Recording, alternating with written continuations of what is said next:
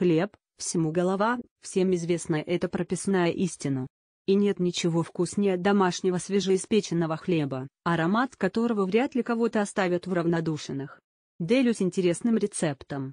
Приготовление этого хлеба совсем несложное. Здесь не применяются дрожжи, поэтому нет необходимости ждать, когда поднимется тесто. Все, что вам потребуется, так это смешать ингредиенты и уже в скором времени наслаждаться полезной выпечкой. Измельчите с помощью блендера цельные зерна и овсяную крупу до образования мелкой крошки.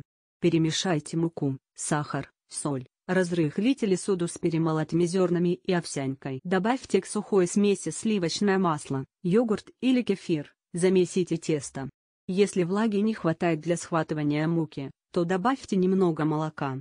Тесто должно получиться гладким. Аккуратно вымесите тесто на рабочей поверхности стола, сформируйте шар и переложите его в форму для выпечки.